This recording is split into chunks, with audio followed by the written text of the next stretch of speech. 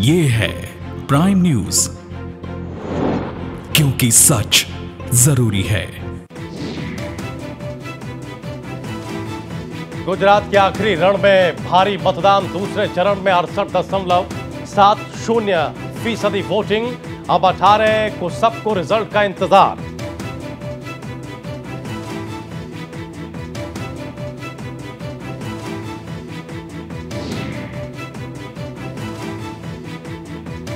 Vote डालने के दौरान प्रधानमंत्री मोदी के रोड शो पर बचा घमासान। कांग्रेस ने चुनाव आयोग पर पक्षपात करने का गंभीर आरोप लगाया। कांग्रेसी नेता रणदीप सुरजेवाला ने मुख्य चुनाव आयोग को बर्खास्त करने की मांग की। कांग्रेसी कार्यकर्ताओं ने चुनाव आयोग का घेराव भी किया।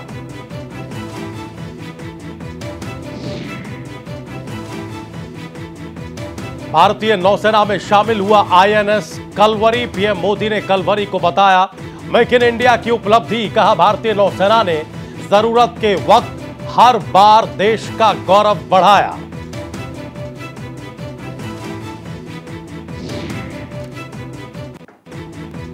उत्तर प्रदेश विधानसभा के शीतकालीन सत्र का पहला दिन हंगामे की भेंट चढ़ा।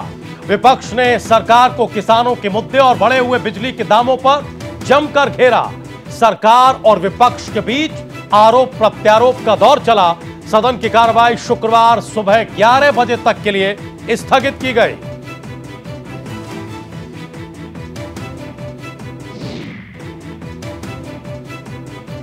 बैंक अकाउंट से आधार के लिंक करने की सीमा बढ़ाई गई। आधार लिंक कराने के लिए अब 31 मार्च होगी डेडलाइन। पहले 31 दिसंबर तक का सरकार ने दिया था समय।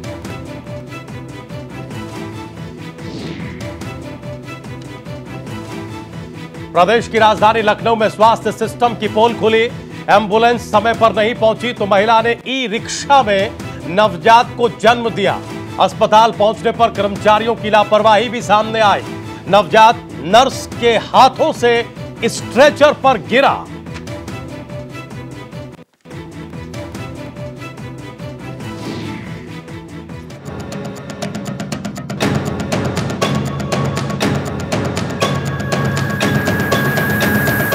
नमस्कार, स्वागत है आप सभी का प्राइम न्यूज़ पर। मैं हूँ राजीव रघुनंदन। वक्त प्राइम एजेंडा का है। आज प्राइम एजेंडा में बात गुजरात विधानसभा चुनाव और एग्जिट पोल की होगी। दो चरणों की वोटिंग पूरी हो चुकी है और अब वक्त महा एग्जिट पोल का है। गुजरात विधानसभा चुनाव को लेकर सभी का ब्लड प्रेशर हाई है बड़ा हुआ है। अब राजनीतिक दलों से यही आग्रह है कि वोटिंग पूरी हो गई है, खत्म हो गई है।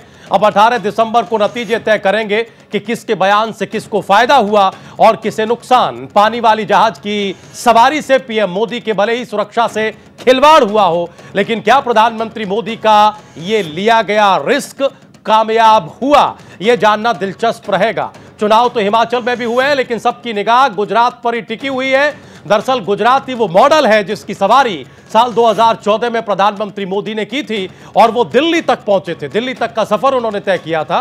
कांग्रेस इसी कोशिश में थी कि अगर बीजेपी गुजरात में गिर गई तो फिर साल 2019 में होने वाले लोकसभा चुनाव में बीजेपी के लिए राह कांटों भरी होगी। बीजेपी कांग्रेस के इस दांव को बखूबी समझ रही थी, इसलिए उसने अपना पूरा दम, पूरी ताकत झोंक दी। पहले चरण के चुनाव से ज़्यादा कांटेदार लड़ाई दूसरे चरण की वोटिंग से पहले दिखाई दी। राहुल गांधी के इंटरव्यू पर, साक्षात्कार पर रोक लगाने के बाद इलेक्शन कमीशन की भूमिका पर कांग्रेस पार्टी सवाल खड़े कर रही है तो वहीं बीजेपी भी कांग्रेस को घेरने के लिए नए नए हथियार निकाल रही है।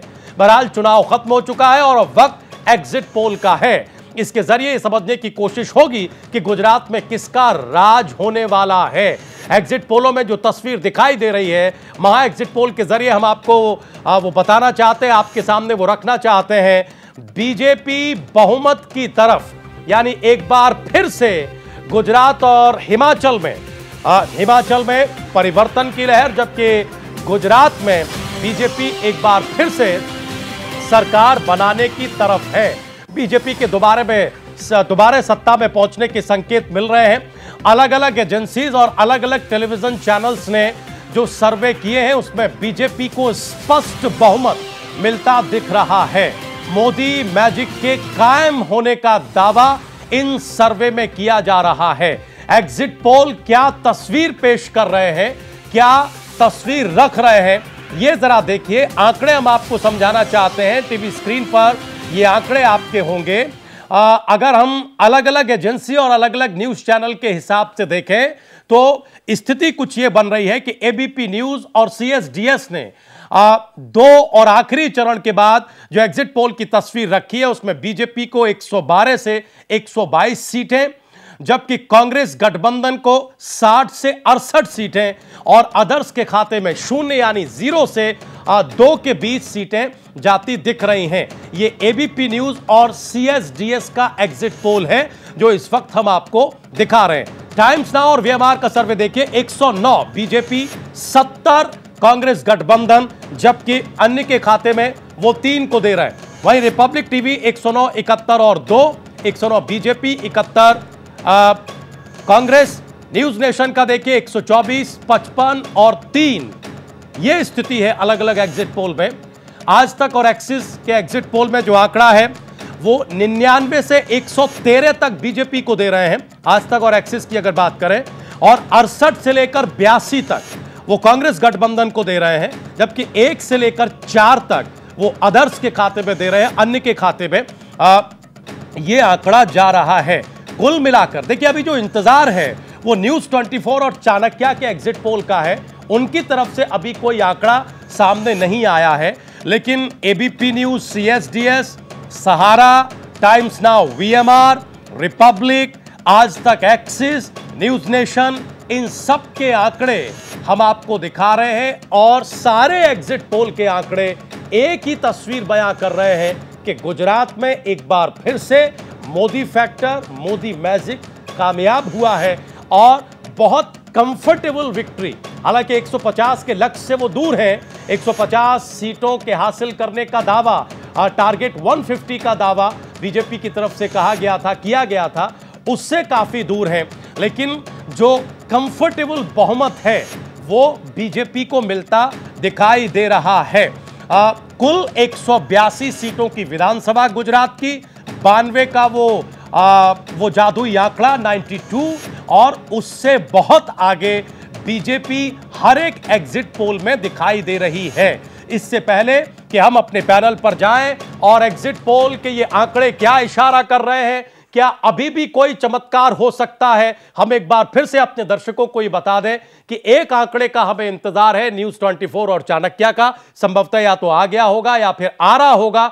आ, वो भी इन्हीं आंकड़ों के साथ जाता है कुछ ऐसी ही पिक्चर रखता है या उसमें कोई डिफर पिक्चर देखने को मिलती है। लेकिन अब तक चार बजे के बाद से लेकर अब तक जितने भी एग्जिट पोल आए हैं जितने भी न्यूज़ चैनल और एजेंसियों के वो सब कंफर्टेबल विक्ट्री का इशारा संकेत बीजेपी के लिए कर रहे हैं। कई खास मेहमान हमारे साथ मौजूद हैं। तीन सम्मानित वरिष्ठ पत्रकार हैं। हम जल्दी से परिचय कराएँ। हमारे साथ हेमंत बिश्नोई जी हैं आज। वरिष्ठ राजनीतिक विश्लेषक हैं और सम्मानित पत्रकार हैं। आरबी उपाध्याय साहब हैं। सम्मानित वरिष्ठ पत्रकार हैं। विजय उपाध्याय जी हैं। सम्मानित वरिष्ठ पत्रकार लखनऊ से जुड़े हुए हैं। हमारे साथ आईपी सिंह साहब जुड़े हुए हैं। भारतीय जनता पार्टी के नेता प्रवक्ता हैं। ब्रजेंद्र उपाध्याय जी हमारे साथ जुड़े हैं। कांग्रेस पार्टी के नेता प्रवक्ता है विभा शुक्ला जी समाजवादी पार्टी की नेता प्रवक्ता हमारे साथ आ, जुड़ी हुई हैं। सभी मेहमानों का बहुत बहुत स्वागत है। जल्दी से रिएक्शन ले लेते हैं। हेमंत बिश्नोई साहब अनुमान उसी तरफ़ जा रहे हैं या फिर आ, जो स्थिति थी भाई 22 साल की एंटी इनकम्बेंसी राहुल गांधी की मेहनत पाटीदार आंदोलन जीएसटी को लेकर गुस्सा बहुत तरीके का विश्लेषण था। लेकिन यहाँ जो रिफ्लेक्शन है वो बता रहा है कि नहीं सारी चीज़ें एक तरफ़ और मोदी फैक्टर एक तरफ़ मोदी मैजिक एक तरफ़। देखिए बात यह है कि कांग्रेस ने जिस ढंग से चुनाव कंपेन को लिया हम्म। उसमें सबसे महत्वपूर्ण बात यह थी कि जो अभी तक कांग्रेस के वहाँ पर नेता थे हम्म। शंकर सिंह बघेला हम्म, उन्होंने वहाँ पर छोड़ दिया। अब जिस तरह दिल्ली के अंदर बीजेपी ने किया कि बाहर से वो क्या नाम था? किरण बेदी को ले आए और उनको लाकर खड़ा कर दिया और उनको मुख्यमंत्री का कैंडिडेट बना दिया। उसी ढंग की स्थिति कांग्रेस ने गुजरात के अंदर की।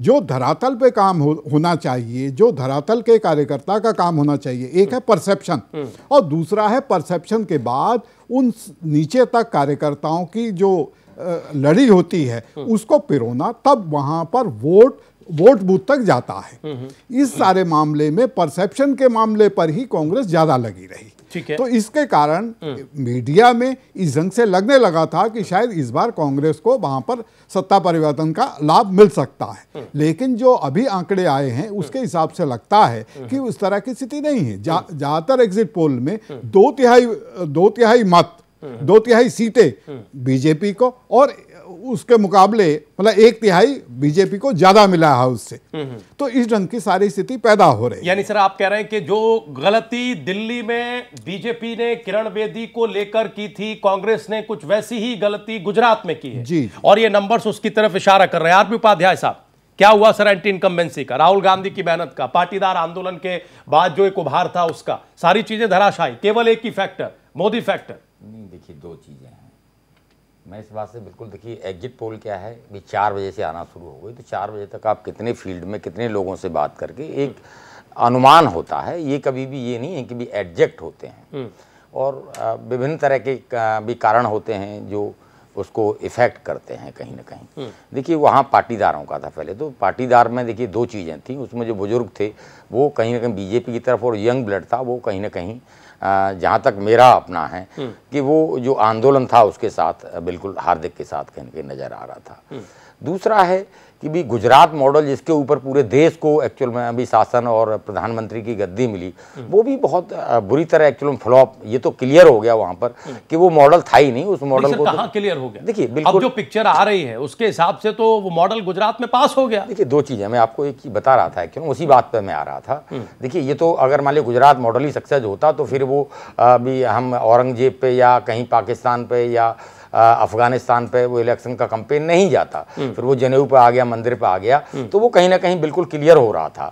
हाँ लेकिन जिस तरीके से बीजेपी की कोशिश रही कि भी ध्रुवीकरण किया जाए उसमें ये रिज़ल्ट बताएँगे कि वो कितना सक्सेस एक्चुअल में कहीं ना कहीं होती है। और इसीलिए बार बार वो गुजरात मॉडल जो विकास के मॉडल से हटा के और बार बार पब्लिक का ध्यान सिर्फ़ वहीं ले जाके फोकस कर रहे थे। और दूसरी बात उसमें रहती है देखिए बीजेपी के जो अ, अगर मान लीजिए मुस्लिम जो मतदाता है उसमें महिलाएँ अगर बीजेपी के पक्ष में मत करती हैं जो कि अभी रिज़ल्ट आएगा तो पता लग जाएगा कि भी कितने परसेंट उन्हें भी वोट परसेंट मिलता है। वो और फिर दूसरा दलित है भी दलित कितना जो एक आंदोलन था उस आंदोलन के साथ जाता है या बीजेपी के साथ जाता है?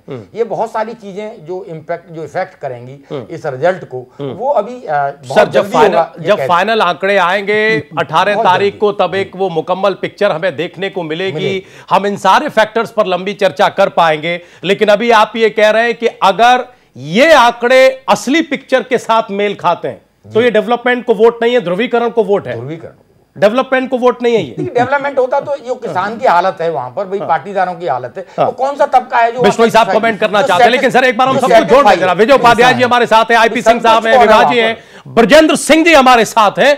नाम प्लीज़ ठीक किया जाए। ब्रजेंद्र सिंह कांग्रेस पार्टी के नेता प्रवक्ता हमारे साथ हैं। विजय उपाध्याय जी एग्जिट पोल के आंकड़े क्या इशारा कर रहे हैं सर? न्यूज़ 24 चाणक्य का इंतज़ार है लेकिन एक भी एग्जिट पोल का आंकड़ा ऐसा नहीं है जो बीजेपी को सत्ता से दूर दिखा रहा हो। इसके बावजूद आरबी उपाध्याय साहब कह रहे हैं कि अगर ऐसा होता भी है तो यह ध्रुवीकरण को वोट होगा डेवलपमेंट को नहीं होगा।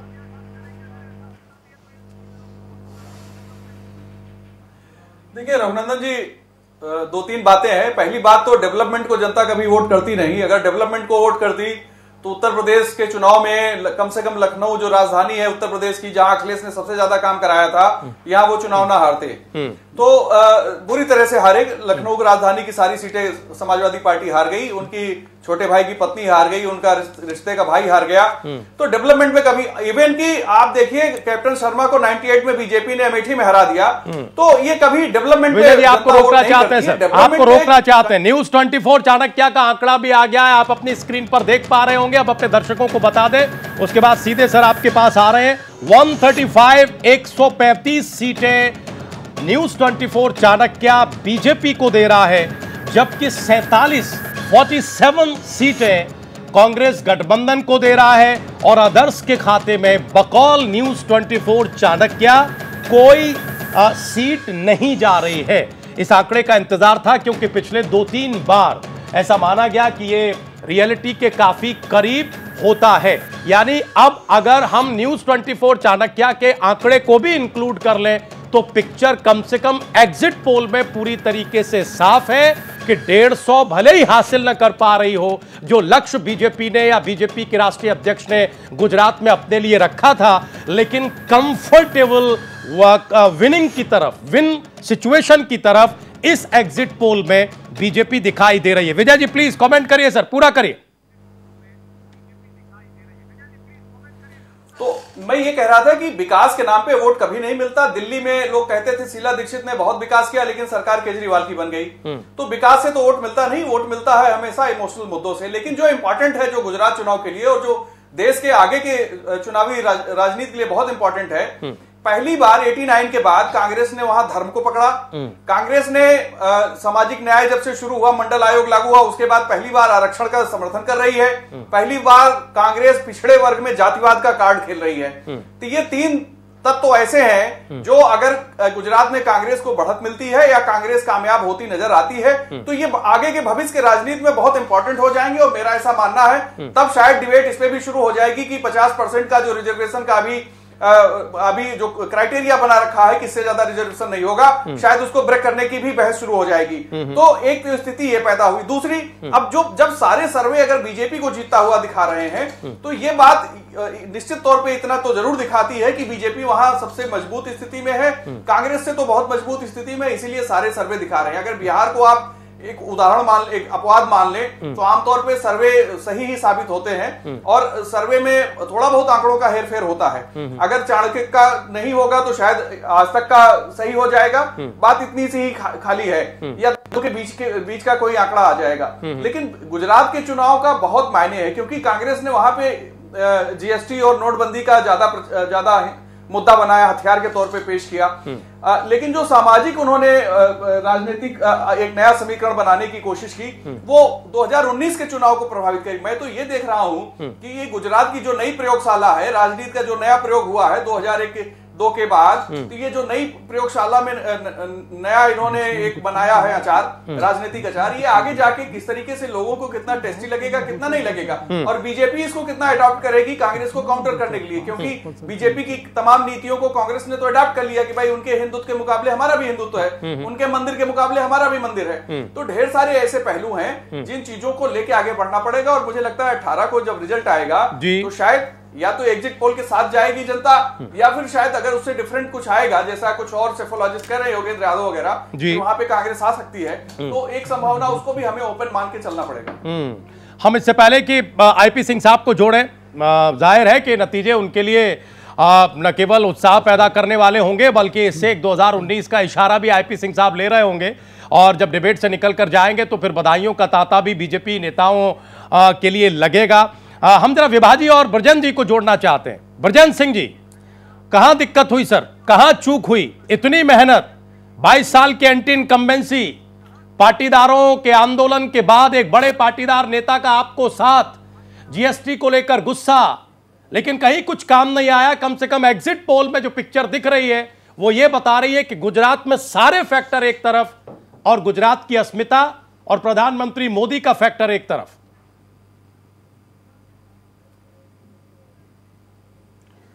गुजरात में जो कुछ हमने जीता है वो आप देख ही नहीं पा रहे हैं हम्म।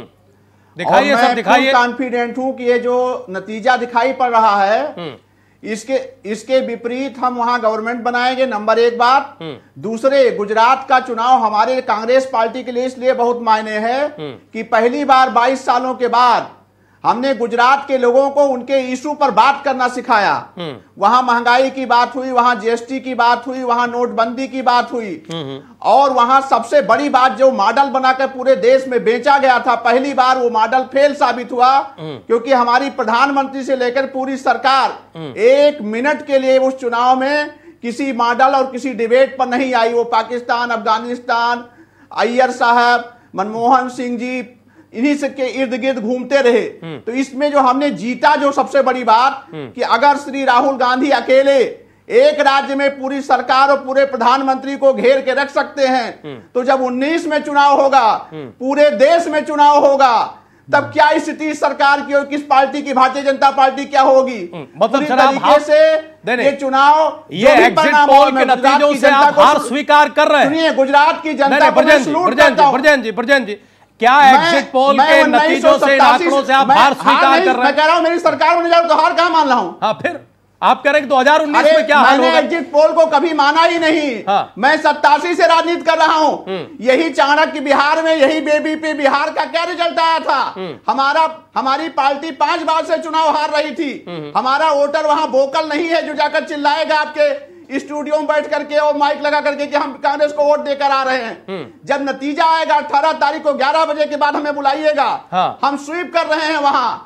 भारतीय जनता पार्टी वहाँ चुनाव हार गई है और श्री मोदी जी नैतिक रूप से पराजित हो चुके हैं। हम्म। बहुत अच्छा रिज़ल्ट आने जा रहा है। चलिए। एग्जिट पोल से कांग्रेस पार्टी का कोई सरोकार नहीं दिखाओ जब अभी तक दिखा रहे थे अच्छा तो आज वो क्यों नहीं दिखाएँगे? उनको नहीं, लेकिन जब पंजाब में देखिए बार बार बार बार उदाहरण देने पड़ते हैं। अच्छा चलिए हम थोड़ी देर के लिए आपकी बात मान लेते हैं। हम विभाजी को लाए से पहले जरा आईपी सिंह साहब को अब लाना पड़ेगा आईपी सिंह साहब को अब लाना पड़ेगा। अब देखिए पंजाब में आपकी बढ़त दिख रही थी। इसी एग्जिट पोल में उसे आपने खारिज नहीं किया। उसे खारिज नहीं किया। और आज चूँकि आप हारते दिख रहे हैं तो खारिज कर रहे हैं। बिहार एक अपवाद के तौर पर हो सकता है इसमें कोई दो राय नहीं है। हम अपने दर्शकों को यह भी बता दें कि एग्जिट पोल की पिक्चर है। अठारह तारीख को मुकम्मल और असली पिक्चर हमारे सामने होगी। हमारी हमारी चिंता सर जैन जी सुन लीजिए। सर सुन लीजिए। देखिए बात यह है कि एक भी एग्जिट पोल ऐसा नहीं है। एक भी एग्जिट पोल ऐसा नहीं है जो कांग्रेस पार्टी को कहीं बढ़त दे रहा हो कहीं बढ़त दे रहा हो ठीक है ना? फिर भी आपका दावा आपका विश्वास अपनी जगह है। हम तो खुद ही कह रहे हैं कि अठारह को मुकम्मल पिक्चर हमारे सामने होगी। ठीक है आईपी सिंह साहब। चुनाव जीत रही है। ठीक। एक भी विशेषज्ञ नहीं है जो ये मानता हो कि कांग्रेस वहाँ चुनाव हार रही है। एक भी तो विशेषज्ञ अच्छे लोग अरे सर लाइन लगी हुई है। अगर ये मान अरे लाइन लगी हुई है सर कितने विशेषज्ञ अच्छा ठीक। है चलिए आईपी सिंह साहब। आईपी सिंह साहब अगर कांग्रेस पार्टी चुनाव जीत रही है तो फिर एग्जिट पोल के ये आंकड़े क्या है? एक महीने चुनाव एग्जिट पोल के ये आंकड़े क्या है अगर कांग्रेस पार्टी चुनाव जीत रही है ब्रजन जी के मुताबिक तो?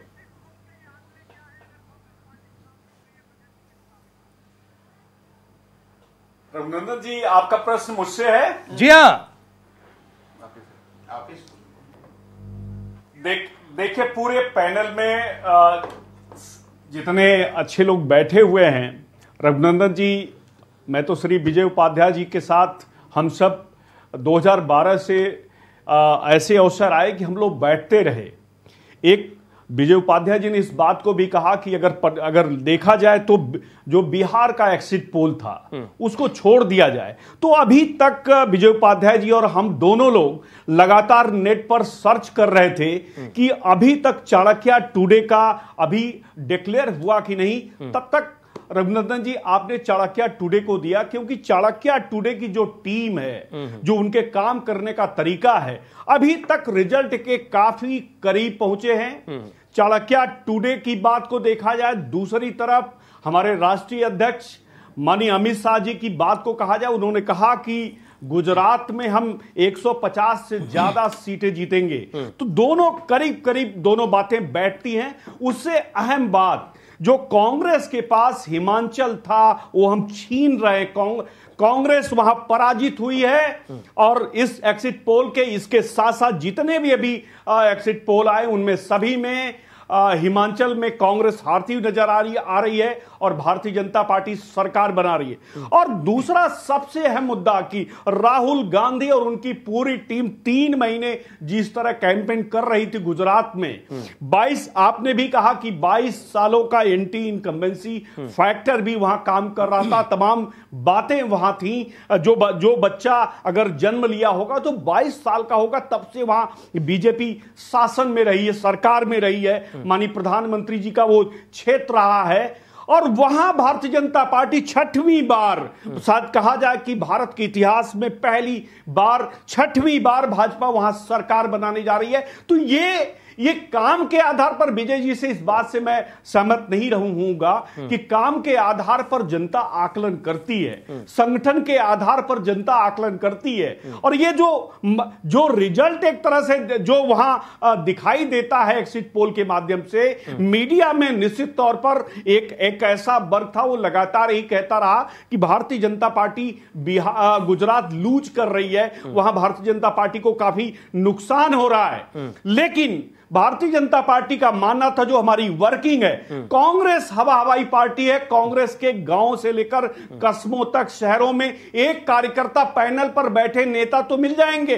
लेकिन उन्हीं नेताओं से कहा जाए कि सौ ऐसे कार्यकर्ता मंडल स्तर के बताइए वो बताने की स्थिति में नहीं है तो कहने का मतलब यह था कि जो माननीय प्रधानमंत्री जी ने कहा कि कांग्रेस मुक्त भारत होना चाहिए कांग्रेस बिल्कुल कांग्रेस का पूरी तरह सफ़ाई होने जा रहा और जो जनादेश बीजेपी को प्राप्त होगा। निश्चित तौर से इसे साफ़ ज़ाहिर होता है। रघुनंदन जी की 2019 में पूर्ण बहुमत की सरकार के साथ भारतीय जनता पार्टी और आगे बढ़ेगी। बीजेपी और मज़बूत होगी। और पूरे देश में भारतीय जनता पार्टी का परचम होगा। ठीक है सर अच्छी बात है लेकिन हम अपने दर्शकों को बता दें कि ये एग्जिट पोल के आंकड़े हैं।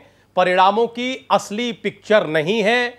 सारे एग्जिट पोल बीजेपी को आसानी से सत्ता तक पहुँचते छठी बार। एक बार फिर से दिखा रहे हैं, लेकिन जो मुकम्मल पिक्चर होगी, वो 18 तारीख को हमारे सामने होगी। ब्रजन जी खुद कह रहे हैं कि 18 तारीख को 11 बजे तस्वीर साफ़ हो जाएगी कि दरअसल गुजरात में हो क्या रहा है, लेकिन इन एग्जिट पोलों पर अगर हम जरा भी यकीन और भरोसा रखें क्योंकि पहले ऐसे तजुर्बे रहे हैं तो तकरीबन तकरीबन एग्जिट पोल कई बार फेल भी हुए हैं, लेकिन ज़्यादातर उन्होंने एक मुकम्मल पिक्चर एक संकेत हमें देने की कोशिश की है। हम विभाजी को जोड़े इससे पहले आईपी सिंह साहब, इस बात का जवाब दीजिए। ये डेवलपमेंट की जीत है, गुजरात मॉडल की जीत है, या फिर यह ध्रुवीकरण की जीत है? यह पोलराइजेशन की जीत है। गुजरात में क्या हुआ आपके साथ? ये आंकड़े किस वजह से आ रहे हैं? इसका क्रेडिट किसको है? नहीं नहीं पोलराइजेशन का काम भारतीय जनता पार्टी नहीं करती है। हम्म। हम तो सबका साथ सबका विकास हम जाति पंथ मज़हब और भाषा के आधार पर कतई राजनीति नहीं करते हैं। अहमद पटेल को मुख्यमंत्री बनाने का विरोध करते हैं वो हम्म। जाति में नहीं आते हैं बहुत बड़ा पोलराइजेशन ये कहा करते हैं? बरजन जी आएँगे सर पूरा करने दीजिए। आएँगे सर आएँगे बिल्कुल आएँगे। सिंह साहब को बोलने दीजिए आईपी सिंह साहब बोलिए बोलिए। जी आएँगे। हम्म, जी। बस आ रहे विभाजी। बोलिए बोलिए बोलिए देखिए रघुनंदन जी ये ये कांग्रेस को उत्तर प्रदेश, चूँकि उत्तर प्रदेश में हम सब बैठे हुए हैं, उत्तर प्रदेश की इस बात को समझना चाहिए कि कांग्रेस का नाम लेना भी कांग्रेस के प्रचार के बराबर है। ये कांग्रेस, वो कांग्रेस है जो 403 की विधानसभा है। उस 403 की विधानसभा में चार सीट जीती है। कांग्रेस से तीन बड़े दल उत्तर प्रदेश में है। मैं तो ये कहूँगा, कांग्रेस को जब बिठाया जाए तो और भी जो दल, अपना दल जैसे बड़े दल है, जिनके ग्यारह विधायक उनको भी बिठाना चाहिए। तो कांग्रेस कांग्रेस कहीं ना कहीं अगर अगर अपना डिजर्वेंस दिखाती है उपस्थिति दर्ज कराती है तो स्टूडियो में दर्ज कराती है अखबारों में दर्ज कराती है वैसे कांग्रेस पूरी तरह उत्तर प्रदेश में समाप्त हो चुकी है। एक उम्मीद थी रघुनंदन जी एक उम्मीद थी राहुल गांधी को राष्ट्रीय अध्यक्ष बनाने का बड़ा कार्ड कांग्रेस ने खेला था। एक उम्मीद जगी थी उनके अंदर कि हो सकता है कि सैतालीस अड़तालीस वर्षीय एक मेच्योर राहुल गांधी गांधी कुछ बेहतर करेंगे। माननीय प्रधानमंत्री जी ने उनके निर्वाचित होने पर सिंह साहब ठीक है। विभाजी को लाने हम सबने भी सर विभाजी को लाने दीजिए फिर हम चर्चा एक बार यहाँ लेके राहुल गांधी सर विभाजी को लाने दीजिए आपकी बातों पर जवाब भी हम ब्रजन जी से लेंगे विभाजी के बाद क्या मानने को दिल कर रहा है? एग्जिट पोल के नतीजे दिल के ज़्यादा करीब आ रहे हैं या फिर जो ब्रजन जी बात कह रहे हैं कि 18 तारीख को 11 बजे यह तस्वीर बिल्कुल उलट होगी दूसरी होगी।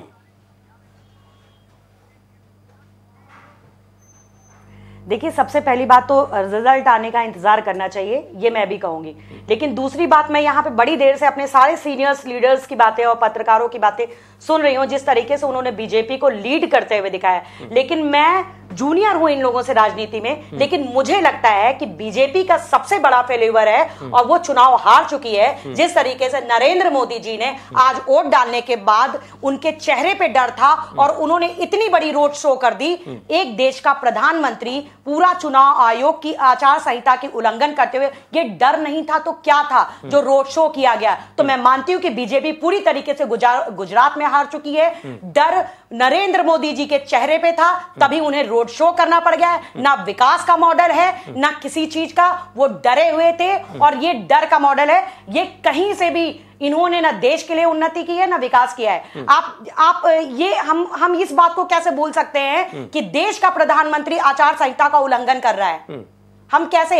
एक एक एक तरफ़ हम आचार संहिता की बात करते हैं कानूनों की बात करते हैं। उन्होंने किस तर्ज पे ये जो है रोड शो किया? वो डरे हुए थे सहमे हुए थे। गुजरात उनको अपने हाथों से निकलता दिख रहा था।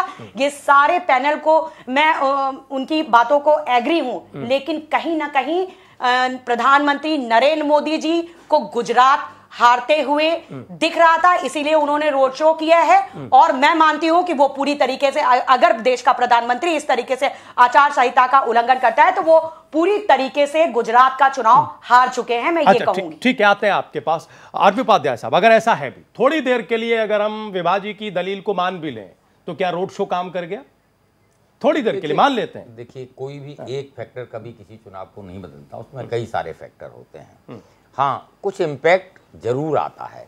जैसे कि आपने देखा कि उस दिन अभी इलेक्शन कमीशन ने मना कर दिया। तो दूसरे दिन उन्होंने ठीक है अभी सी प्लेन के थ्रू जाके और फिर रोड शो किया मतलब तो वो सारी चीज़ें कहीं ना कहीं उनका जो मेन विजन था, देखिए उनकी साख दाव पर लगी थी और प्रधानमंत्री पहली बार, मैंने देखा कि गुजरात में जिस तरह से घिरे हुए नज़र आ रहे थे, इससे पहले कहीं भी किसी भी इलेक्शन में इस तरह के का एक चैलेंज मतलब बीजेपी को या नरेंद्र मोदी जी को शायद नहीं मिला। ये पहला ऐसा चांस था। हाँ देखिए स्ट्रेटजी जब रिज़ल्ट आते हैं तो डेफिनेटली उसका एक एनालिसिस होता है उसमें देखा जाता है कि भी क्या क्या कमियाँ रही क्या क्या खामियाँ रही और उन खामियों को आगे दूर किया जाता है। हार जीत एक अलग मैटर है।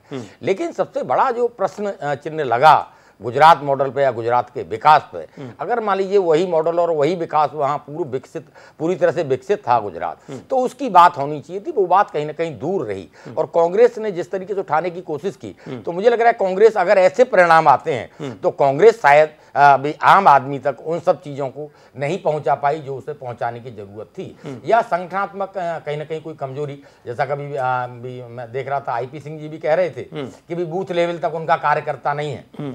तो ये बहुत सारी लेकिन सर ब्रजेंद्र सिंह जी की तो मानने को ही तैयार नहीं है। वो ये कह रहे हैं कि 87 से वो राजनीति में है ऐसे उन्होंने बहुत सारे आंकड़े देखे हैं आप 18 को देखिएगा। मैं भी रहूँगा आप भी रहिएगा ग्यारह बजे पिक्चर साफ़ होगी। उनका कहना भी जायज़ है कि बाईस साल का एंटी इनकन्वेंसी हम्म। और यहाँ कोई वर्ग संतुष्ट नहीं दिख रहा। लेकिन सर एक एग्जिट पोल नहीं। देखिए उनकी बात अपनी जगह बिल्कुल स्टैंड कर जाती। अगर कोई भी एक एग्जिट पोल कहीं ये दिखा रहा तो होता दिख रहा था। कि 120 पर कांग्रेस पहुँच रही। मैं मानता हूँ लेकिन वो सब चीज़ें दिख रही थी देखिए। हाँ। मेरे कहने से या मीडिया के दिखाने से नहीं है। हम्म। व्यापारी वर्ग वो असंतुष्ट था। हम्म। जीएसटी से जीएसटी में बदलाव किया गया बीच में। अगर जीएसटी बिल्कुल परफेक्ट थी तो उसमें बदलाव करने की ज़रूरत क्या थी हम्म। जब लगा कि भी व्यापारी वर्ग ना तो किस किसी को संतुष्ट आप किस किस को कर पाए या किस किस को नहीं कर पाए रिज़ल्ट बताएँगे। हम्म। देखिए किसान वहाँ परेशान है। हम्म। यूथ वहाँ परेशान है रोज़गार वहाँ पर था नहीं। तो फिर ऐसा कौन सा मेरेकल था? भी ऐसा कौन सा मॉडल था कि जिसकी वजह से वो कहीं ना कहीं सब लोग ब्रांड मोदी था ना साहब। देखिए मैं मानता हूँ। हाँ। देखिए वो तो मोदी जी मतलब का मैंने सारी चीज़ें एक तरफ़ और ब्रांड मोदी एक तरफ़। मैं इस बात का सानी हूँ कि वो हाँ। जहाँ जाएँगे गंगा मैया के पुत्र हो जाएँगे गुजरात के पुत्र तो भावनात्मक तरीके से जो उनका एक स्पीच का जो एक तरीका है हम्म। अगर यही रिज़ल्ट आते हैं तो डेफिनेटली हम्म। पहले भी कामयाब रहा है और हम्म। आज भी वो कामयाब रहा मैं इसी बात को कहूँगा लेकिन ये जो एक परंपरा शुरू हो गई है जी। ये परंपरा कहीं ना कहीं लोकतंत्र के लिए घातक है। देखिए संवैधानिक जो भी संस्थाएँ हैं चाहे वो बीजेपी है कांग्रेस है सपा है। सर उस पर आएँगे देखिए समय समय पर लोकतंत्र के लिए बहुत कुछ घातक रहता आया है अलग अलग डिबेटों में। लेकिन आज तो हम महा एग्जिट पोल पर चर्चा कर रहे हैं जहाँ एक मुकम्मल पिक्चर न सही लेकिन एक संकेत एक संदेश हमें ज़रूर मिल रहा है। हेमंत बिश्नोई साहब जब आरबी उपाध्याय साहब ने पहला कमेंट किया था तो उन्होंने कहा था कि यह विकास की जीत नहीं है ध्रुवीकरण की जीत है। फिर वो अभी दोबारा जब दलील दे रहे थे तो वो ये कह रहे थे कि नहीं साहब, वो व्यापारियों में गुस्सा कहाँ था, वो डेवलपमेंट की पिक्चर कहाँ थी, वगैरह वगैरह। क्या गुजरात ने ये साबित कर दिया है एक बार फिर से कि सारा अनरेस्ट एक तरफ़, लेकिन जहाँ तक विश्वास और यकीन की बात है, वो ब्रांड मोदी एक तरफ़, ये बीजेपी भी नहीं, ये ब्रांड मोदी की जीत है, इस एग्जिट पोल के मुताबिक। क्या ऐसा है? देखिए, बात यह है यदि आप विकास की बात करते हैं। तो आप रायबरेली कॉन्स्टिट्यूंसी को और जो मोदी जिस विधानसभा से चुनाव लड़ते हैं। उन दोनों को कंपेयर कर लीजिए। तब पता चलेगा विकास कहाँ हुआ, कहाँ नहीं हुआ यदि आप रायबरे, इस बात पर क्या दोनों पॉलिटिकल पार्टीज़ बहस करने को तैयार थी इस पर निश्चित तौर पे रायबरेली का जो मामला है, वो राहुल गांधी जी के बहुत पक्ष में नहीं जाता अच्छा जहाँ तक ध्रुवीकरण की बात आई तो ध्रुवीकरण की बात यदि उत्तर प्रदेश में बात आती है तो समझ आती है क्योंकि यहाँ पर जो गैर हिंदू वोट है वो काफ़ी परसेंटेज में है। लेकिन गुजरात में कितना?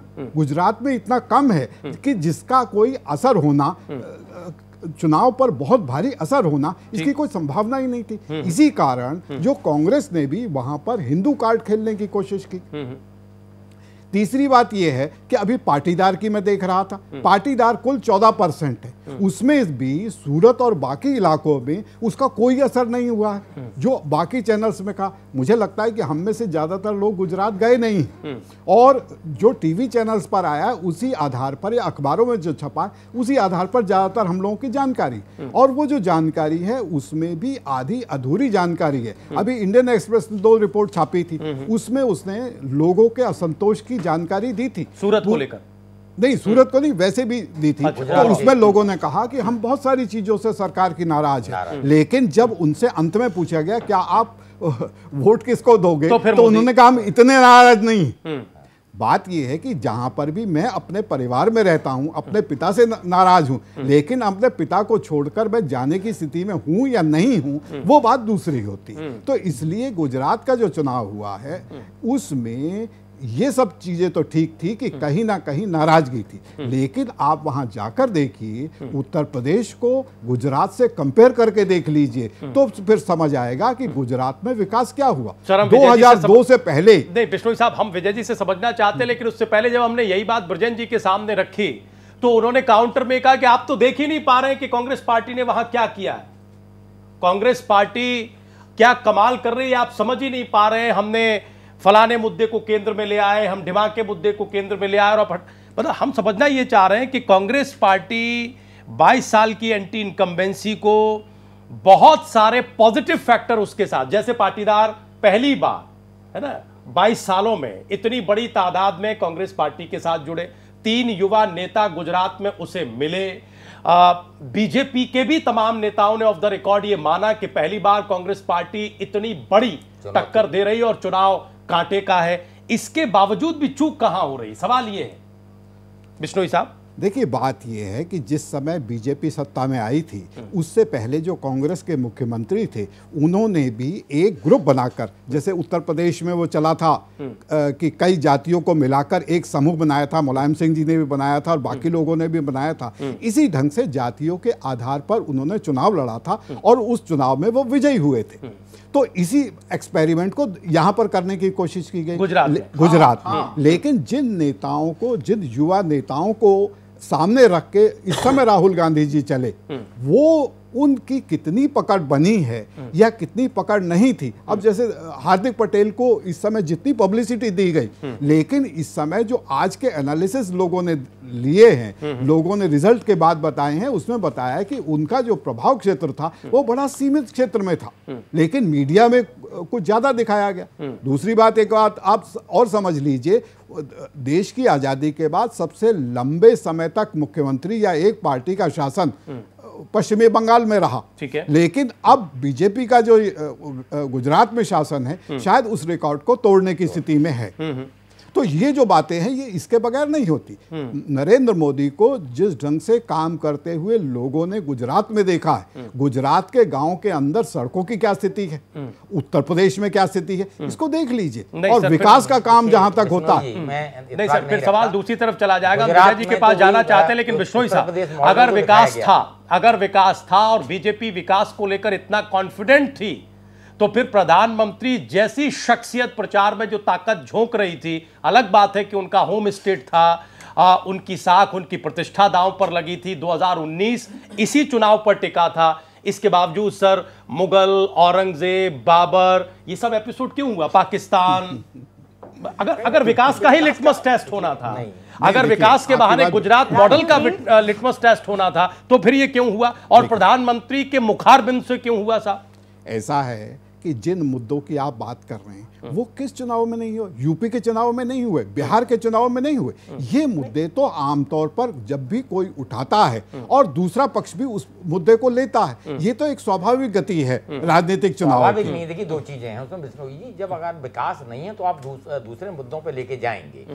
क्यों एक मॉडल आपके पास नहीं है? अदरवाइज़ अगर पास मॉडल होगा तो आप जाने नहीं देंगे उधर आप कहेंगे नहीं। देखिए विकास हमने ये ये काम एक आ रहे हैं और इस काम पे हमें वोट दीजिए हमने ये किया है तो वो अचीवमेंट मेरे ख्याल से किसी भी पॉलिटिकल पार्टी के लिए इसीलिए सबको वही सूट करता है कि चाहे वो मंदिर है या मस्जिद है हम्म। या शमशान घाट है या कब्रिस्तान है सब इसीलिए वहाँ खींच के ले जाते हैं हम्म। क्यों वहाँ पर विकास और वो सारी चीज़ें हम्म। उसकी चर्चा ही कहीं नहीं हम सर विजय जी को जल्दी से ले आते विजय जी को सर जल्दी से ले आते ये बताते हुए कि जो आंकड़ा है वैसे तो लगातार आपकी टीवी स्क्रीन पर दिखाई दे रहा है लेकिन फिर भी अगर हम इसे पढ़ें तो ये एबीपी न्यूज़ और सीएसडीएस का जो एग्जिट पोल है, वो बीजेपी को 112 से 122 सीटों के बीच में सीटें दे रहा है।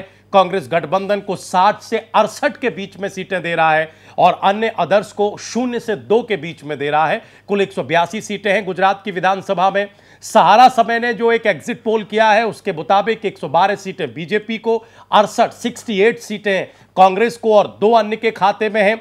न्यूज़ 24 चाणक्य जो तस्वीर रख रहा है, उसके मुताबिक 135 सीटें 135 बीजेपी को 47 कुल 43 सैतालीस सीटें 47 सैतालीस सीटें कांग्रेस गठबंधन को और अन्य के खाते में एक भी नहीं।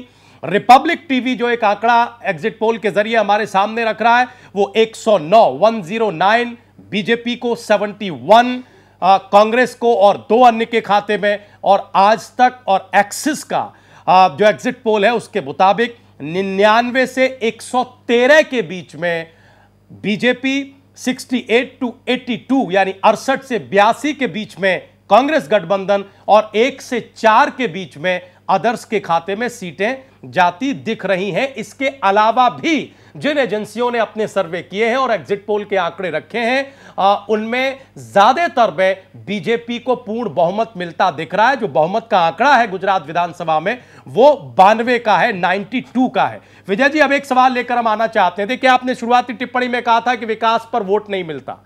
लेकिन अभी विश्नोई साहब ये कह रहे थे कि उत्तर प्रदेश और गुजरात की आप तुलना कर लें और खास तौर से प्रधानमंत्री मोदी की असेंबली और रायबरेली की आप तुलना कर लें तो एक फ़र्क जो है वो आपको साफ़ मिल जाएगा। फिर हमने सवाल रखा कि अगर ऐसा था और गुजरात मॉडल का डेवलपमेंट को लेकर अगर लिटमस टेस्ट ही होना था तो फिर ये पाकिस्तान और ये मुगल, औरंगज़ेब, ये सब क्यों चला आता है? तो उन्होंने कहा कि नहीं, ये तो किसी भी चुनाव में आप देख लीजिए, ऐसा ही होता है, ये बहुत सामान्य प्रक्रिया है।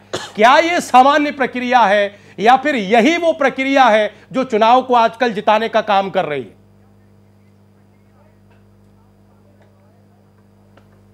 देखिए, रघुनंदन जी, ये जो हमारा बदलता हुआ समाज है, जिसमें सोशल मीडिया बहुत इंपॉर्टेंट हो गया है, लोगों में अवेयरनेस है, जागरूकता है, समृद्धि है समृद्धि इस मायने में कि गरीबी का जो आंकड़ा है कहीं न कहीं कम हो रहा है लगातार। हम्म। तो आप देखिए अमेरिका के चुनाव थोड़े दिन पहले हुए जब ट्रंप चुनाव जीत के आए। हम्म, हम्म। बहुत समृद्ध अमेरिका है बहुत विकसित अमेरिका है। पूरी दुनिया में सबसे ज़्यादा डेवलप्ड अमेरिका कहा जाता है। और वहाँ पे इस्लामी कट्टरवाद के खिलाफ ट्रंप का जो कैंपेन था वो इमोशनल कैंपेन था हम्म। वो कोई विकास का मुद्दा नहीं था। हम्म। उसके बाद आप कैसे कह सकते हैं कि सिर्फ़ डेवलपमेंट से आप जीत सकते हैं। हम्म। जब अमेरिका के चुनाव में आपको इमोशनल कार्ड खेलना पड़ता है तो इससे साफ़ है कि हम लोग तो अभी विकसित विकासशील देश हैं। हमारी स्थिति तो बहुत पीछे है उससे। दूसरी बात इटावा में सबसे ज़्यादा डेवलपमेंट अगर उत्तर प्रदेश में कहीं हुआ है तो इटावा सैफई में हुआ है। लोकसभा चुनाव समाजवादी पार्टी 2014 में वहाँ हार जाती है हम्म। और विधानसभा भी चुनाव कोई अभी बीएसपी के पास है शायद हम्म। तो हाँ उनकी स्थिति कोई बहुत अच्छी नहीं है वहाँ समाजवादी पार्टी जबकि डेवलपमेंट में सैफाई मॉडल है हम्म। सैफाई गाँव एक एक विकसित इलाका है वहाँ आप चले जाइए आपको समझ में आ जाएगा वहाँ पाँच से दस हज़ार लोगों को एक साथ गेस्ट हाउस में एकोमोडेट करने की क्षमता है हम्म। तो आप समझ सकते हैं कि एक गाँव कितना डेवलप हम्म। हो चुका है। हम्म। तो विकास से अगर वोट मिलता तो देखिए विकास एक सतत प्रक्रिया है। पहले रोटी कपड़ा मकान चाहिए फ्रिज उसके बाद फ्रिज टीवी कार बंगला दूसरी चीज़ें बदलती जाती हैं। जरूरतें बदल जाती हैं विकास की जरूरतें बदल जाती है मॉडल बदल जाता है। तो विकास तो एक चीज़ है जो काम होना चाहिए लोग मानते हैं और जो कोई भी सरकार होगी तो बजट तो खर्च करेगी ही करेगी उससे तो डेवलपमेंट होगा ही होगा। दूसरी बात होती है कि भाई इमोशनल कार्ड क्यों खेला गया?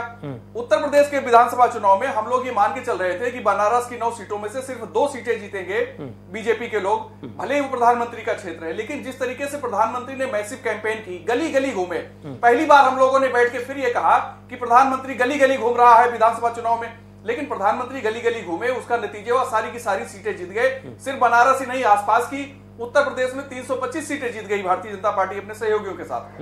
तो जो मेहनत करने की बात है पब्लिक से कनेक्ट करने की बात है पब्लिक को कन्विंस करने की बात हो जो कन्विंसिंग करते हैं। प्रचार से हम कन्विंस करेंगे। तो जो जो पार्टी अच्छे से कन्विंस कर लेगी कम्युनिकेट कर लेगी प्रॉपर तरीके से उसके साथ लोग खड़े होंगे। और कांग्रेस के साथ दिक्कत क्या आ रही है? अगर ये एग्जिट के पोल एग्जिट पोल ठीक है तो कांग्रेस के साथ दिक्कत ये है कि वहाँ राहुल गांधी चेहरा है। उसके पीछे अल्पेश हैं जिग्नेश हैं हार्दिक हैं। कौन मुख्यमंत्री होगा? पब्लिक के सामने कोई एक पक्का चेहरा होना चाहिए। विकास का जो आपने मॉडल दिया कि हम तो ये ये चीज़ें डेवलप करेंगे। अरे डेवलप करने का तरीका क्या होगा? अब आपको वो भी बताना पड़ेगा। जीएसटी पे उत्तर प्रदेश के नगर निगम में बीजेपी के समर्थन में वोट व्यापारी दे चुके हैं। तो जीएसटी से लोग नाराज़ हैं। हम लोग भी इस बात को जानते हैं पत्रकार के नाते कि जीएसटी पे लोग नाराज़ थे लेकिन वोट बीजेपी को दिया। उसके अलग अलग कारण हैं। जिन लोगों ने अपने बिल पे लिखा कि कमल का फूल एक भूल हमारी भूल कमल का फूल जब उनसे फ़ोन करके पूछा गया भैया आपने क्यों लिखा? उन्होंने कहा दबाव बनाने के लिए हम रहेंगे बीजेपी के साथ लेकिन ये दबाव बनाना है हमको। तो जो ये सारे पहलू हैं इन चीज़ों को देख के ही किसी चुनाव के बारे में कोई आकलन कर सकते हैं। चीज़ें बदल गई परंपरागत तरीके से अगर हम सोचेंगे तो चुनाव का जो जो परिणाम है ठीक है। शायद हम उस उस तरीके से पकड़ नहीं पाएँगे नहीं विजय जी विजय जी हम आप ही आप ही की बात विजय जी आप ही। की बात पर हम ब्रजेंद्र सिंह जी के पास जाएँ। उससे पहले आप ये कह रहे हैं कि चुनाव कम्युनिकेट करके जीते जाते हैं। आपका कनेक्शन कितना साउंड है है ना? कन्वेसिंग शायद हम लोग इसीलिए कहते हैं।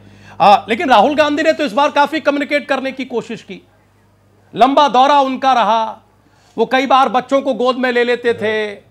है ना महिलाओं के साथ तस्वीरें खिंचाते थे। मतलब काफ़ी कनेक्ट उन्होंने बनाया। क्या उस कनेक्ट ने कोई असर नहीं दिखाया? या ब्रांड मोदी के सामने कोई असर नहीं दिखाया? नहीं। नहीं रघुनंदन जी देखिए कनेक्ट का असर दिखा है। हम्म। इसीलिए लोग राहुल गांधी ने विपक्ष के नेता के तौर पे अपने को पहली बार साबित करने की कोशिश की है हम्म। और पहली बार उनके भाषण में सबसे कम मिस्टेक्स हुए हैं। हम्म। पहली बार राहुल गांधी का एक एक बयान मुझे तो सबसे ज़्यादा ज़बरदस्त लगा जब उन्होंने कहा कि भाई मोदी जी, हम आपको गुस्से से नहीं प्यार से हराएँगे। हम्म। तो इस तरह के जो बयान है जो पंच क्रिएट करते हैं हम्म। वो पब्लिक को सूट करते हैं। हम्म। और आप देखिए मोदी के भाषणों में इस तरह की ढेर सारी चीज़ें शामिल करके पब्लिक को कम्युनिकेट करने की कोशिश करते हैं। हम लोग राहुल गांधी को अमेठी में भी हम लोगों ने देखा है। 2007 के उत्तर प्रदेश के विधानसभा चुनाव में बड़ा हैवी कैंपेन किया था उन्होंने। 2009 के लोकसभा में कैंपेन किया फिर 2012 के उत्तर प्रदेश के विधानसभा चुनाव में हम लोगों ने उनकी कैंपेनिंग देखी है। 2017 में अभी अखिलेश और राहुल की एक साथ जो कैंपेन हुई उसको भी हमने देखा है। हम्म। लेकिन जो लोगों में जो इमेज राहुल गांधी की 2014 तक थी हम्म। और 14 के बाद जो है उसमें बदलाव आ रहा है राहुल गांधी में निश्चित तौर पे। जो राजनीतिक समझ है जो राजनीतिक सूझबूझ है हम्म। वो ठीक है लेकिन अभी भी टीम पर सवाल खड़े होते हैं कि राहुल गांधी के साथ टीम कौन सी है? जब टीम यानी पार्टी को किस तरफ़ ले जाएगी? आप देखिए सिब्बल क्या कर रहे हैं। वो तो राहुल कांग्रेस के हिस्सा है। मणिशंकर अय्यर कांग्रेस के हिस्सा है उन्होंने क्या किया? तो पब्लिक हम्म। तो आपको पूरे बुके में देखेगी ना अकेला फूल बहुत सुंदर हो सकता है हम्म। लेकिन बुके के बाकी फूल अगर उतने अट्रैक्टिव नहीं है ठीक है। जैसा बीजेपी अपने को मैनेज करती है। बीजेपी ने हर उस आदमी को साइड लाइन किया हम्म। जो पार्टी के लाइन से अलग हट के बयान देके सुर्खियाँ बटोरता था चाहे विनय कटियार हो चाहे मुरली मनोहर जोशी हो या जो भी नेता हो सबको उन्होंने किसी न किसी बहाने साइड कर दिया और अपनी एक धारा बना ली कि हमें इस धारा पे काम करना और इस एजेंडे पे काम करना है। ब्रजन जी, अब हम आपके पास आना चाहते हैं। देखिए, हमारी रिक्वेस्ट ये है गुजारिश, क्योंकि आज की तारीख में तो हम एग्जिट पोल पर चर्चा कर रहे हैं। डिनाइल मोड में मत रहिएगा। अच्छी बात है कि आपके लिहाज से वो नतीजा आए जो आप एक्सपेक्ट कर रहे हैं, लेकिन हमारे सामने जो पिक्चर है, हम तो देखिए उसी को सामने रखकर बात करेंगे। और इस पिक्चर के मुताबिक हम समझना ये चाह रहे हैं कि कहाँ चूक हुई। क्या एक बार फिर, देखिए, उत्तर प्रदेश विधानसभा चुनाव में डिमोनेटाइजेशन को लेकर गुस्सा है या नहीं आप राजनीतिक पार्टी को एक चुनावी मशीन मत समझिए। नहीं नहीं आप सवाल तो राजनीतिक दल का काम होता है। आप काम करिए राजनीतिक दल का हम तो बिल्कुल नहीं कह रहे कि राजनीतिक दल का काम छोड़ दीजिए। सही वे में लाना। हम्म। जब पूरा देश मोदी जी की जय जयकार कर रहा था श्री राहुल गांधी जी ने 18 राज्यों में दौड़ा करके भूमि अधिग्रहण कानून पर सरकार को डिरेल किया उनको झुकने के मजबूर किया। अब आप गुजरात के चुनाव में आ जाइए। जिन्होंने नहीं नहीं हमारा सवाल तो पूरा हुआ ही नहीं। ब्रजन जी ब्रजन जी ब्रजेन जी सवाल पूरा नहीं हुआ। ब्रजेन जी सवाल पूरा नहीं हुआ। थोड़ी सी उपयोगिता है आपको। सवाल तो सुन लीजिए सवाल तो सुन लीजिए किस बात पर दे रहे है। जवाब किस बात पर है सर? सवाल तो सुनिए। संशोधन अरे सर संशोधन ठीक है अच्छी बात। नहीं तो कुल जमा कामयाबी यही है क्या? नहीं सर कुल जमा कामयाबी फिर यही है क्या? ना सवाल तो नहीं। सर सवाल तो नहीं। सब लोग और आप खुद मान रहे हैं ओह, राहुल जी बेहतर परफॉर्मेंस कर रहे हैं तीसरी अच्छा सबसे बड़ी बात ब्रजेन जी प्लीज़ देखिए हम तो कह रहे हैं हम तो कह रहे हैं बार बार कि ये कोई मुकम्मल ये आखिरी पिक्चर नहीं। है सर, ये आखिरी पिक्चर नहीं। है, ये एक संकेत है। पूरे देश में अच्छा, ब्रजेंद्र जी, बात तो। नहीं। हाँ। इसको मैं विनम्रता से स्वीकार कर रहा हूँ तो ब्रजेन जी, सवाल तो अध्यक्ष बने हैं हाँ। उन, उनके अरे, ब्रजेंद्र जी, सवाल तो लीजिए विनम्रता से। मेहनत करना होगा ब्रजेन सर सर। विजय के रूप में उनके जो विजन को कन्वर्ट कर सकते हैं। तो आप किसी पार्टी को चाहे हमारी पार्टी हो या किसी पार्टी को अगर आईपी सिंह की बात को सही मान लिया जाए तो उन्नीस सौ सत्तावन से वाजपेयी जी ने चुनाव लड़ना शुरू किया और उन्नीस सौ छियानवे में वो गवर्नमेंट में आए तब तो उनको आत्महत्या करके मर जाना चाहिए अरे आप एक चुनाव आप सवाल तो पार्टी एक चुनाव दस चुनाव की बात नहीं। आप सवाल तो लीजिए। हैं, 18 तारीख को परिणाम आएगा। अरे वो हमें हम पता है, हमारी आवाज़ आपको मिल रही है कि नहीं मिल संगठन में कहा चूक हुई? हाँ। इतने सारे लोग जो हमारे साथ खड़े दिखाई अच्छा, ठीक है, प्रजेंट जी, हम आ रहे हैं, देखिए, एक बार हम अपने दर्शकों को बता आपके अनुसार परिणाम आता है तो ठीक है एक बार दर्शकों को बता दें हम आ रहे हैं हम चाहते हैं कि आप सवाल पूरा सुने और उसके बाद आप जवाब दें। हम बिल्कुल ये दावा नहीं कर रहे हैं कि साहब यही आंकड़ा जो है वो असली पिक्चर में तब्दील करने के लिए तैयार है तब्दील होने को तैयार है। जो स्थिति है हम उसे लेकर एक सवाल रखना चाहते हैं। ये देखिए जो हम बार बार आपको बता रहे थे वो एक आ, वो एक तस्वीर सम्यक तौर पर आपके सामने है कि अलग अलग एजेंसीज अलग अलग न्यूज़ चैनल किस तरीके से आंकड़े बीजेपी कांग्रेस और अदर्स के बीच में बांट रहे हैं। ये ग्राफिक्स के ज़रिए एक तस्वीर आपके सामने है। ब्रजेन जी, हम सवाल ये लेना चाह रहे थे। बहुत अच्छी बात है कि आपने सरकार को बहुत सारे मुद्दों पर घुटने पर लाने की कोशिश की। हमारा सवाल ये था कि चुनाव दर चुनाव, क्या कोई क्या कोई रणनीति समझने में कोई दिक्कत आ रही है? जैसे आरक्षण आरक्षण को, पाटीदार आरक्षण को आप लोगों ने गुजरात में बड़ा मुद्दा बनाया। लेकिन अगर इस एग्जिट पोल के नतीजे को देखें तो हमें लगता है कि वो मुद्दा कहीं चला ही नहीं। तो क्यों ऐसी चीज़ों को आप पकड़ रहे हैं? जो चीज़ें पब्लिक में आ, पब्लिक में क्या कहते हैं उससे कोई क्रेज क्रिएट नहीं कर पा रही। जैसे जब से आरक्षण का मुद्दा आपने उठाया बीजेपी तब से ये कह रही थी कि कॉन्स्टिट्यूशनली हो ही नहीं सकता। आप क्यों भ्रमित करने की कोशिश कर रहे हैं? इस बात का जवाब दीजिए कोई आवाज़ नहीं सुनाई पड़ रही है। हाँ ब्रजेन जी आवाज़ आ रही है? अब सुन पा रहे हैं आप? चलिए आवाज़ में कुछ दिक्कत है संभवतः शायद इसीलिए आप आ, अपनी बात जारी रखे हुए थे ये जो बातें कही आईपी सिंह साहब ब्रजेन जी ने इन बातों का जवाब दीजिए कि साहब कांग्रेस पार्टी ने ये कर दिया कांग्रेस पार्टी ने वो कर दिया ये कांग्रेस पार्टी का प्रेशर था कि आपने इतने सारे अमेंडमेंट जीएसटी में किए। कोई आवाज़ नहीं आ रही है ठीक है। हमको उठना भी दूसरी जगह जाना आईपी सिंह साहब आवाज़ मिल रही है? लगता है आवाज़ की कोई दिक्कत आई। एक छोटा सा ब्रेक हमें लेना पड़ेगा, लेकिन ब्रेक के उस पार जब हम लौटेंगे तो एक बार फिर से हम वो पिक्चर दिखाएँगे। और दरअसल हम ये समझना चाहते हैं कि अगर यही तस्वीर, मुकम्मल तस्वीर के करीब होती है तो फिर वो जो हमने शुरुआत में तीन चार बातें कही कि 22 साल की एंटी इनकम्बेंसी का क्या हुआ, हेमंत बिश्नोई साहब की बात को ले लें तो क्या एक नया पश्चिम बंगाल बनने की तरफ़ है गुजरात? क्योंकि पश्चिम बंगाल एक जमाने में, हालाँकि अब वो गढ़ टूट चुका है, लेफ्टिस्टों का किला एक गढ़ माना जाता था तो क्या गुजरात अब राजनीति की उसी प्रयोगशाला की राह पर है? और आने वाले समय में क्या इसे चुनौती देना मुश्किल होगा? 2019 में इसका असर क्या होगा? सरकार की पॉलिसीज़ पर इसका असर क्या पड़ेगा? एक छोटे से ब्रेक के बाद आएँगे तो फिर चर्चा को इस तरफ़ ले चलेंगे।